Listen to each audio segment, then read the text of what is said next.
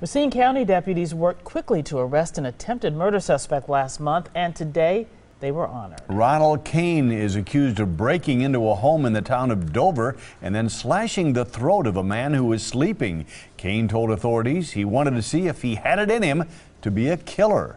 The victim's girlfriend called 911 and deputies arrested Kane a short time later. If we use what's obvious to us if there are tracks in the mud or the snow and um, our use of our canine and, and coupled with uh, a little bit of luck and, and good police work, we're able to take this individual into custody. And now Kane is charged with attempted murder. The big